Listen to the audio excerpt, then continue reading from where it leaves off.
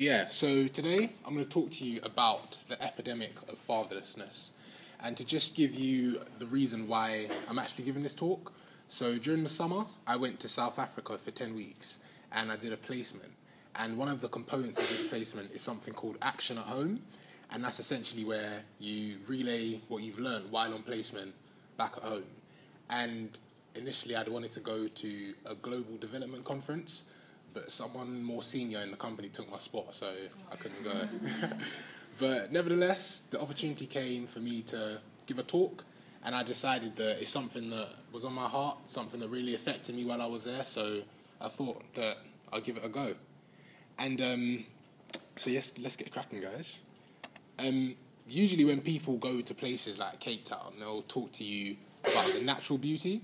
They'll talk to you about going to a waterfall while going from Kirstenbosch Gardens to the top of Table Mountain, or the views while on the middle of Table Mountain, or even the view at the top of Table Mountain.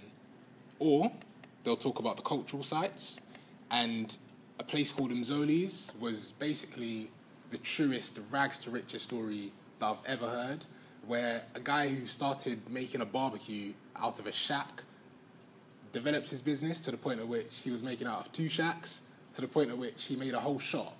And now he's got a 50 50 partnership business with this guy from America who handles all of the management side of it, while Mzoli does all the branding and he handles all the food basically.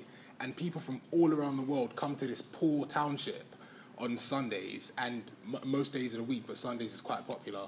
And it just brings a whole new new dynamic to the community and it's brought life to so many people who in other situations would have been on drugs or in gangs. And um, there's a place called Bo-Kaap which is a place um, which was mainly filled with Muslims in the middle of Cape Town. And during apartheid they were forced to wear dull colours and the minute apartheid was lifted they thought in in basically in rebellion to what we've been constrained to let's paint our houses different colours. And um, this is just a symbol of the freedom that people have found since the lifting of apartheid. And you get Robben Island, which is where Nelson Mandela spent nearly, well, over 20 years of his life for fighting for freedom. And it's become such a key cultural spot in Cape Town. And it's a reminder to people of the restraints that once were before apartheid was lifted. And so one question I would like to ask you is where are all of these things now? All of these things from Bo-Kaap to Table Mountain, they're all still in Cape Town. I can't lift Table Mountain and show it to you here in this lecture theatre. I can't get Mzoli's and bring you his food here. Like, those things stay in South Africa. But what I wanted to share with you guys was what came back with me, and that's a stark reality that fatherlessness is a big issue that needs to be tackled in the world. And I understand that this term epidemic is big, and most people would say that this problem doesn't warrant a term as big as epidemic. But as opposed to showing you different statistics that will prove to you that fatherlessness affects how well you're going to do in school or whether you're going to get involved in gangs, what I'm going to do is I'm going to take you on a journey that I went on and I'm going to show you different stories, different people's lives that have been affected by this, and I'm going to bring you to the point of realization that I came to. And so we're going to start at a place called Oasis. Oasis is a place where I was placed, and um, they are a non profit organization that mainly deals with street youth. And youth in South Africa is anybody from the age of 18 to 35. And they would go into different townships, set up football tournaments, get to know people, and bring them into Oasis with the hope of actually developing them as individuals to be placed back in the communities and become community leaders. And as I already said, my relation to it was that I was working there and um, I got to experience all of the different parts of Oasis and all the, diff- all of the different pieces of this organization. And regarding its relationship to fatherlessness, Oasis has, as a key part of it, a rehabilitation center for drug addicts. And um, the first phase is where they pick you up and they take you off the streets, and they try and make you basically clean from drugs. And this takes, for some people, a month, some people six months. But Oasis is very strict in that it gives people two months to really prove that they can be strong enough to come off the streets and come off drugs. And it's a tough process. And I've spoken to many people who said that it was one of the hardest things that they've experienced. And the second phase of rehabilitation is when they come to live in the place that I was working in. So I had a lot of contact with these people who were sometimes just three months clean off drugs. And the reason I've said so much promise is because I would get into conversations with certain people. There was this one guy called Matisse, and he used to be a millionaire. He used to own countless businesses, and he had a beautiful house. He had many homes, in fact. He owned a boat. He was married. He, he had what we would call a good life. And sadly, his best friend ran away with his wife on his boat, and they took all his money. His wife had one of his businesses, and due to that experience, he turned to drugs, and he lost all of his money, and ended up on the streets. And Oasis picked him up, and even though he has come to the point of cleanness and he's off drugs, I would still say that he's hit a brick wall. So there's so much promise in his life but he hasn't progressed to that stage at which I could satisfactorily say that he's made it and that he has completely turned his life around. And the reason that I've said that Oasis has presented to me a fatherless cycle is because the vast majority of the men in these phases of rehabilitation are fathers. They have children on the outside who are growing up without fathers the vast majority of these men who are in Oasis grew up without fathers. So if you join up the dots, you can see that it's fatherless children who have given birth to fatherless children. and at this point, I wasn't sort of putting these things together and thinking about fatherlessness as a problem. I was just experiencing these things, so I would like you guys to do the same thing. And um, there was this one guy called Eugene Ashley and he was one of the South African volunteers that worked with us. And he was also somebody in the second phase of rehabilitation. And in my opinion, he was a break from the norm. His role as a father was something that motivated him to come into work on days when I would be downhearted, days when I couldn't be bothered to do my work. He would come into the office, be sort of vibrant, be happy, be bubbly, and he would be lifting up the whole mood in the office. And for somebody who's been clean off drugs for about three months, he hasn't seen his daughters in weeks. For him to come and give life to us, that's that's something that really stuck with me. And um, I was talking to him once, and I was writing down his story and everything that he'd been through. And he said that when he was on drugs, he would go and visit his daughters, and he'll knock on the door. They'll come to the door, and the minute they see him, they'll close the door in his face. And he said that those things completely tore him to pieces. And um, when he started to turn his life around, when he began to find again who he was and to come off drugs, he went back to his house. He knocked on the door, and his daughter ran up to him and she said, That's my daddy. She's like, That's my daddy. And she ran into his arms. And the joy that I saw in his face when he was relaying that story to me again stuck with me and showed me how important this role of being a father was to him. And his relationship with his father was key to his life because while he was on drugs, his father was the one who was looking after his daughters and who, to some extent, was looking after him in making sure that when he needed to get a fix, when he needed to get his drugs, he was getting it from safe places. So when his father died, that had a massive effect on his mind state and how he viewed himself and on the well being of his daughters. And so Eugene, we can clearly see as a person who um, is a break from the norm. He's not like the rest of the people in that phase of rehabilitation. He was somebody who really stood out to me. Next, I want to talk to you about a guy called Tom Smith. His name's actually Tom Smith. That's like a, uh, yeah, that's all just like a cover because I'm going to speak quite in depth about his life. So um, I had to like protect his identity and all that stuff. And um, to me, like he was a real light in the darkness. And um, he, in fact, is somebody whose father was present in his life. And um, he was also one of the people in that phase of rehabilitation. And to just give you a sort of a, a, an, an overview as to how he got to Oasis, he was the son of a pastor, and um, in his family, he was the fourth generation to become the leader of this church that his dad was the leader of. And he didn't want to do that job. That path was set out for him, that path was expected of him, and he decided that it wasn't for him. So he rebelled against his family. It became a thing of where it was him against the rest of his family, him against his father. His family said to him, It's my way or it's the highway. And he picked the highway, basically. And um, that had a bad effect on him, of course, but on the surface, it looks like he was successful. He acquired a BSc in analytical chemistry. He became a graphic designer. But in his heart, he always had the feeling of the need to please his father. And as he rejected his father, his father continually grew callous towards him.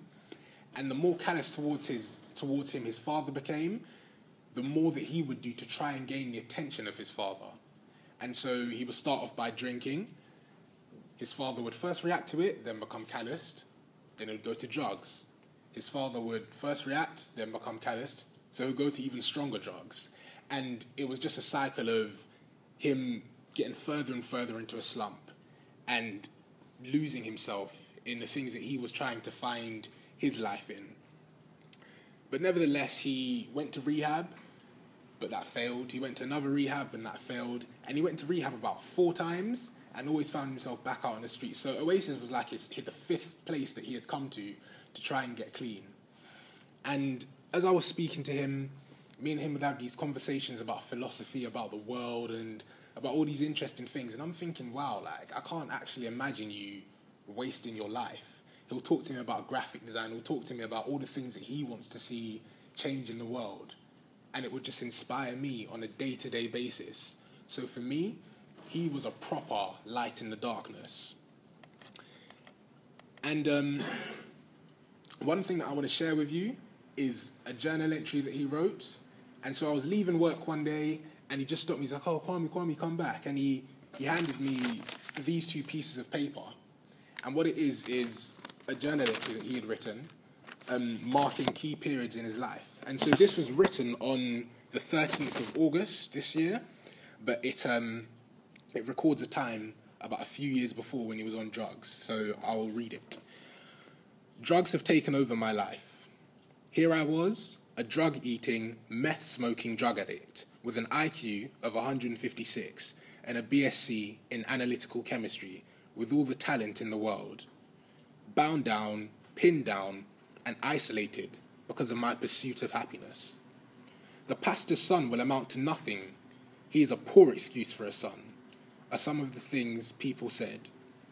My tears felt like acidic rain acidic rain, nobody seemed to get that I didn't wake up one morning with a craving for tik.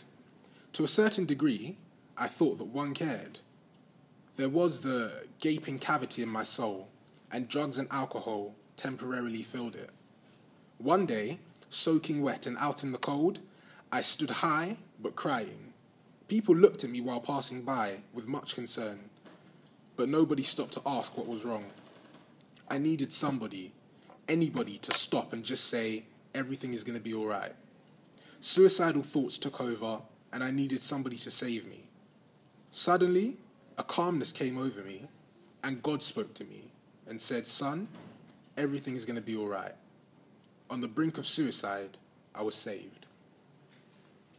And you can imagine, like, the first time I was reading this, like, in my head, I'm thinking, oh my gosh, Alex, like, I just want to help you, but he was the type of person who I knew was destined for good things. And in fact, out of all the people in this phase of rehabilitation, during my time in Oasis, he was the only one to actually move out and go into something better. And so, about two weeks before I left, he moved to a different organization where he was giving life skills lessons to rehabilitated drug addicts. And for me, that makes him a real light in the darkness. And next, I'd like to introduce you to this place called Parkwood. And Parkwood is a community in the Cape Flats. And when I tell you that, honestly, I smell more marijuana smoke than oxygen in this place. Like, I'm not exaggerating. Like, drugs and gang violence have completely destroyed this place. And you can see it in everything from the infrastructure to the people's clothes to the way that they talk and the way they interact. It is completely taken over. And um, my relation to it is that it is one of the communities in which Oasis has something called a 2020 soccer tournament. And um, they would go in, set up a football tournament, and um, use that to reach out to the, the children in the community, the youth. And I was heavily involved with that tournament, and I went into Parkwood at least once a week for the nine weeks that I was working with Oasis. And so I got like a really good understanding of how it works. And um, why have I called Parkwood the result of fatherlessness? So there was this one time when we went into Parkwood with a van and picked up about 12 of the kids, like from ranging from the age of about 12 to 20.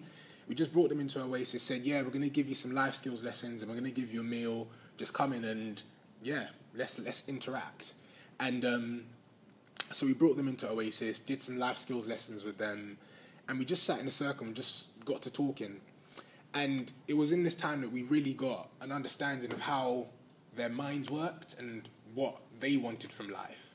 And they would tell us things like, "Oh yeah, like we um we go and rob people's houses because we believe that they robbed our ancestors, and if we steal from them, they are going to be able to replace it." So yeah, they they felt no remorse for the deeds that they did. They told us about how they were shooting people, etc.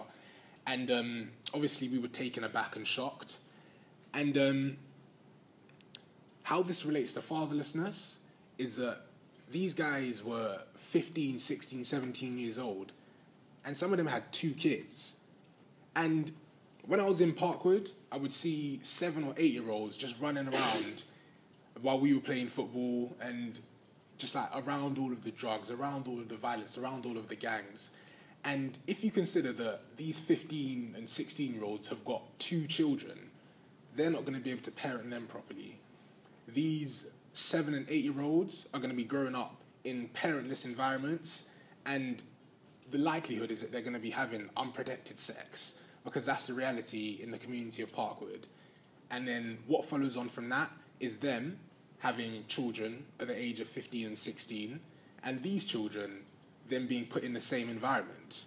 And so what we see is a horrible cycle that just continues to go in this community. But I'd like to introduce you to a guy called Zeldin, who I would call a small sign of hope. So Zeldin's father was a drug lord in Parkwood. He um, was one of the main people that people would go to essentially to supply them for their drugs.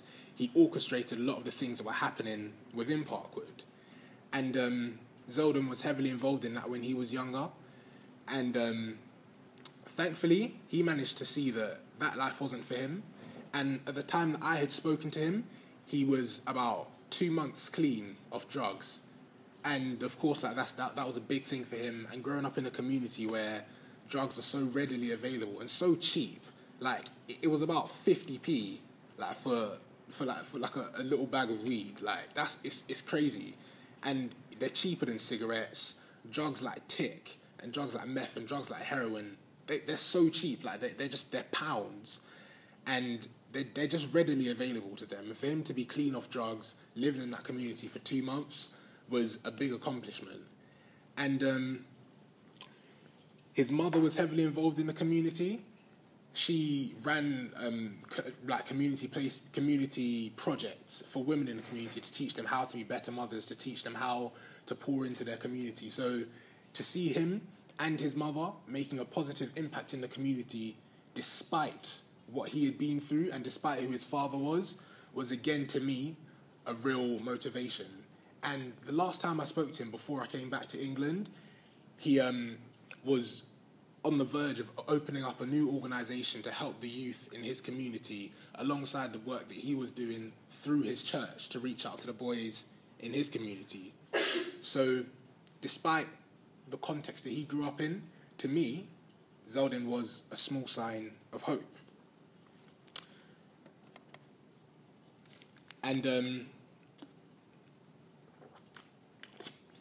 still bearing in mind that up until these points, I wasn't drawing the dots between all of these problems and fatherlessness. I was just experiencing these problems, having conversations with people, talking to people, seeing what their views were. But it was this one car journey I had with a guy called Keith, who was the chairman of an organization called MITS, which is making an impact through sports. And they were quite similar to Oasis, but they um, were mainly focused in an area called Mitchell's Plain, which is absolutely notorious for drugs and gang violence. And um, we were driving through this one place called Tafelsig and another place called Lentegeur, and these places have like crazy murder rates and like school children being shot in crossfires on a weekly basis. And he was just showing us all the all of the political stimuli for these problems, all of the social stimuli for these problems, and um, he just said this quote. He was like, we were just talking, and he came out of it. He was like, "This is the fatherless generation," and that absolutely struck my core. And this happened less than a week before I came back to England, and it was literally like that penny drop moment. It just added up all the dots. It was like a mass puzzle that I was able to solve, and it really just put everything together. When he said, "This is the fatherless generation," it really, really struck home with me and um, I haven't actually thanked him for that, but that's that's something I definitely have to do because it, it really did bring light to the whole situation. And so I've called this an epidemic.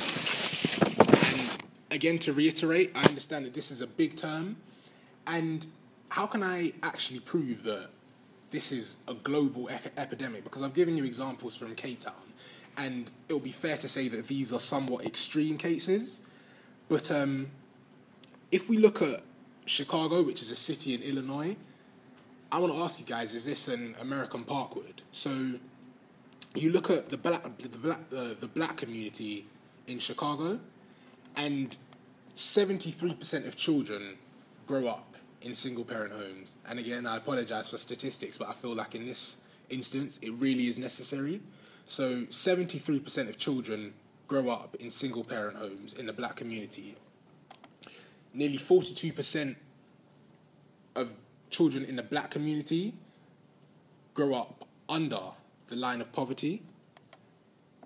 This year, there's been 322 murders in this one city, and since August the 9th, over 100 have been murdered. And that, if you've been following the Mike Brown case in Ferguson, you'll know that that has gained a lot of media um, media attention, but these over hundred murders in Chicago haven't gained one, and that is just testament to how commonplace it is for there to be black on black and gang violence in Chicago.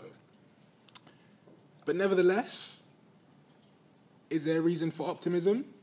We've seen through Eugene that there's a break in the norm. We've seen through Tony that there can be lights in the darkness. We can we've seen through Zeldin that there is a small sign of hope, and um, people may disagree even at this point, but I do feel that fatherlessness is a key issue.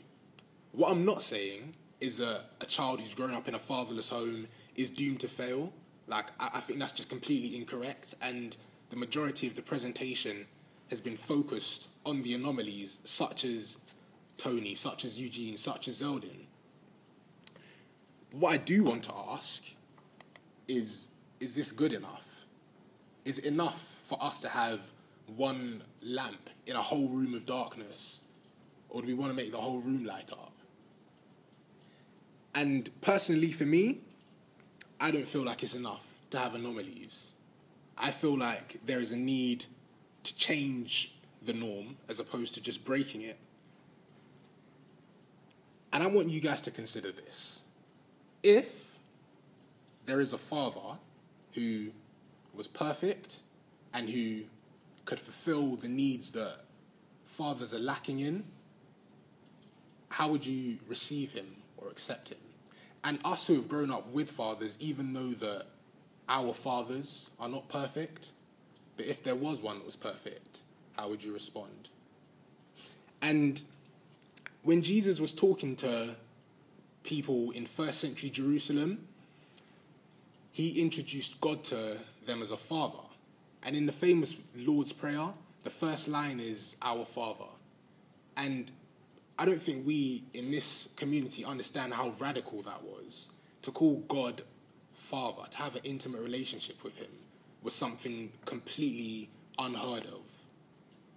And He came and saw that that was the most important thing that He needed to deliver to people that God was a Father. And if He came to offer this relationship to all people, then I would say that this epidemic may have met its match. Thank you guys for listening and let it mull over in your minds a bit. And if you've got any questions, then just throw them out at me. Thank you.